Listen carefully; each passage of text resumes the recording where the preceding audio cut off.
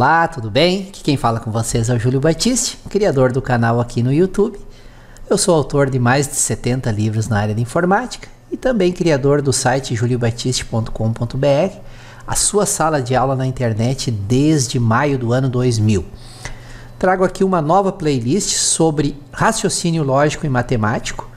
As aulas, as primeiras 200 aulas dessa playlist são de autoria do colega Manuel Jailton com quem eu tenho uma parceria de revenda de cursos há mais de 10 anos, e as últimas aulas da 201 a 500 serão de minha própria autoria.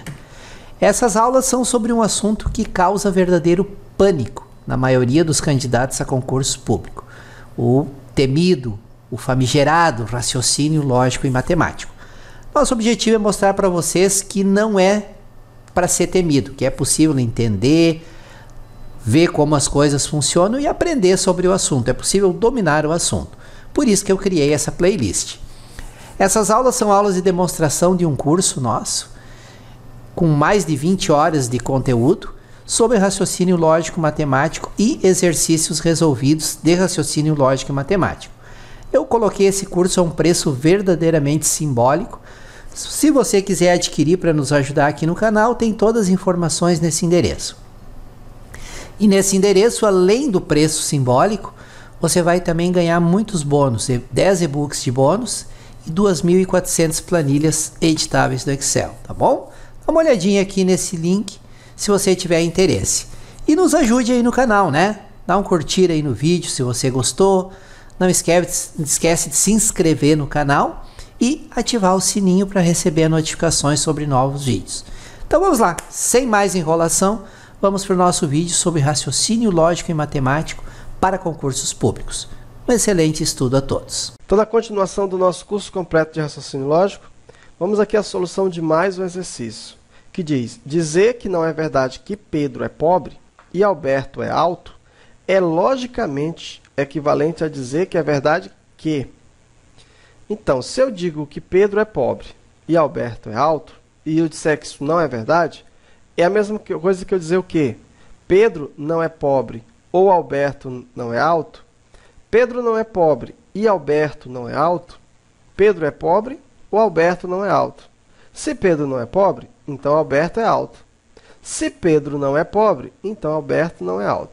Então, qual é o valor lógico equivalente né, a essa afirmação?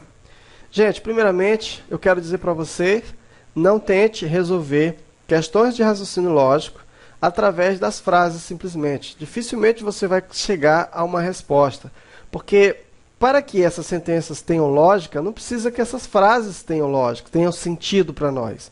Então não analise pelas frases em si, mas pelo valor lógico que elas possuem, tá? que elas produzem.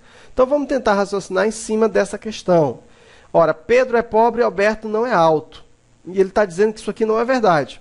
Então, quando ele diz que isso aqui não é verdade, é a mesma coisa que o que, gente? E é isso que nós vamos fazer agora. Então vamos pegar essa frase. Não é verdade que Pedro é pobre e Alberto é alto. Então, para começar, nós vamos sempre raciocinar da seguinte forma: nós vamos substituir as frases por letras para facilitar o nosso raciocínio. Então, Pedro é pobre, nós vamos substituir por P. Alberto é alto, nós vamos substituir por Q. Observa que aqui nós temos o quê? Uma conjunção. Então nós temos o i. Eu posso tanto representar assim, como eu posso representar pelo chapeuzinho. Eu vou deixar assim para facilitar o nosso aprendizado. Muito bem, gente. Agora, o que, que ele está querendo aqui na questão? Eu tenho então aqui, ó, P e Q. Então, P, quem é P? Pedro é pobre. Quem é Q? Alberto é alto. Ora, gente, o que na verdade ele está querendo aqui é simplesmente negar essa sentença. Então, como é que eu faço para negar o i? Olha como é simples. Então, vamos pegar a nossa sentença, P e Q. E agora nós vamos negar isso. Como é que nós fazemos para negar? Ora, nós vamos negar o primeiro, nega o segundo. Onde tem o i, nós vamos trocar pelo ou. E pronto, está negado. Muito simples. Ó. Então, isso aqui é logicamente equivalente. Agora, como é que eu leio aqui? Ó? Pedro não é pobre, e ou, ou Alberto não é alto, ficando, portanto, da seguinte forma: ó, Pedro não é pobre, ou Alberto não é alto. Veja, aqui eu já tenho a solução do problema. Por quê? Eu substituí a primeira por P, a segunda por Q, e eu tenho aqui o conectivo I. O que, na verdade, ele está querendo é fazer a negação disso. Como é que eu nego o I? Para negar uma conjunção, nega o primeiro, nega o segundo, onde tem o I, troca pelo OU. Então, ficou da seguinte forma.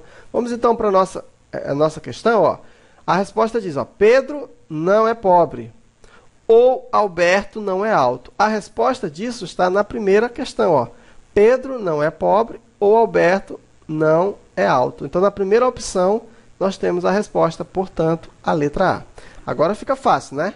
Então, depois dessa análise, fica mais fácil. Então, sempre analise dessa forma. Não tente analisar. Né? Como é que você vai dizer, se você for analogicamente, como é que você vai dizer Pedro é pobre e Alberto não é alto? Eu vou negar isso. Né? Não dá para a gente raciocinar em cima, fica meio complexo, meio complicado. Um abraço para você e até a próxima aula.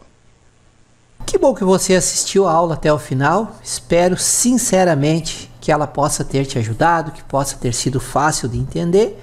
E semanalmente, sempre que o tempo permitir, eu vou publicar novas aulas sobre raciocínio lógico e matemático aqui no nosso canal no YouTube. Reforço para vocês que essas aulas que eu estou publicando são aulas de demonstração do nosso curso pago. Raciocínio lógico matemático, teoria detalhada e muito bem explicada, e mais 100 questões resolvidas e detalhadamente comentadas. Esse curso tem mais de 20 horas de vídeo aula. Você recebe ele via download e eu coloquei ele num preço simbólico. Você não tem ideia do quão simbólico é esse preço. Neste link aqui tem todos os detalhes. Ah? Esse é um curso para você entender, finalmente, sem dificuldades e com muitos exemplos, o tão temido raciocínio lógico, que é um verdadeiro terror em provas de concurso público. Ah? Nesse link que eu passei para vocês aqui, além do preço simbólico, você tem um pacote de bônus que chega a beirar o inacreditável.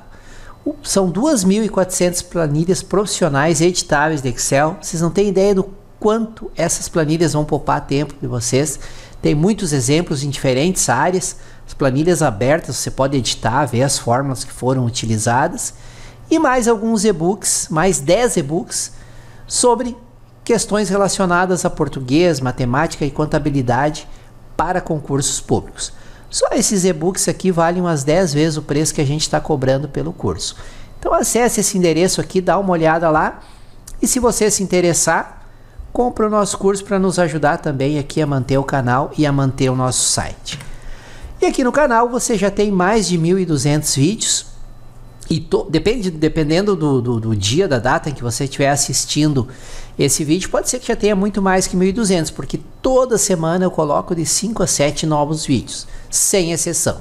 Tem vídeos de Excel, de Access, de Windows Server, de programação VBA, PHP, de redes, de SAP, Word, PowerPoint, Windows 10, vou colocar de Windows 11.